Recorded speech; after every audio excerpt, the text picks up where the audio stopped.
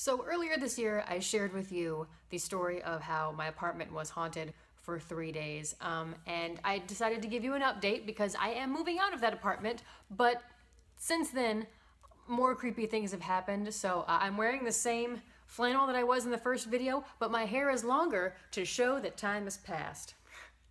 So, things that have happened in my apartment.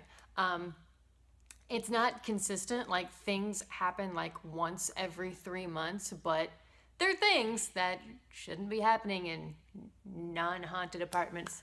So, uh, one thing that happened was a clock flew off my wall. And I know people say that, and you think to yourself, logically, you're like, oh, maybe uh, the nail head was loose and it just kind of fell. No, it flew across my apartment. And then the nail head was very, very large. It was very secure. Also, not only was the clock hanging on a nail head, I had um, like it wasn't double sided tape. It was like this little like plastic square that had like super adhesive so that the clock wouldn't fall off. Like the, you literally had to yank the clock from the bottom and then lift it up off the nail head in order to get it off, and it flew like the Wicked Witch of the West, just across my apartment and broke. And to be fair, I didn't really like that clock anyway, and it was already kind of dying. So if the ghost was an interior decorator or something like that, I get it. It was a crap clock.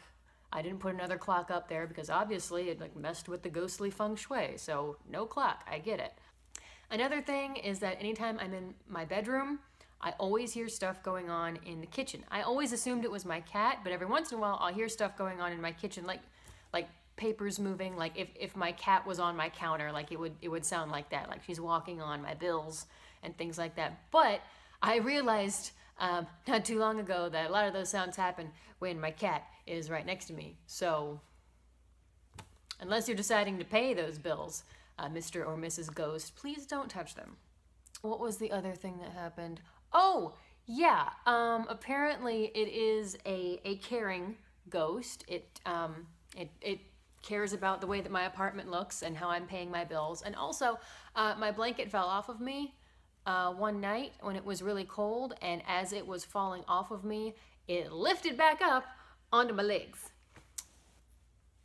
And again, I watched it go back on my legs. So it's a caring ghost, but also it's it's kind of unnerving when you don't see what's lifting the blanket back onto your legs.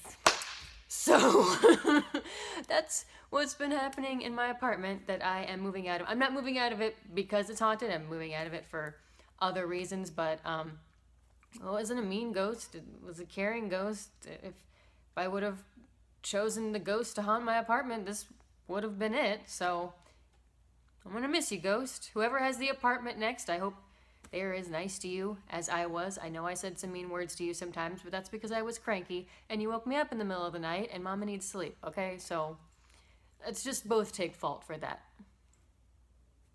Bye, ghost. Thanks for watching the GBF YouTube channel. If you liked what you see, don't forget to hit the subscribe button down below and then check out more videos from 103 GBF.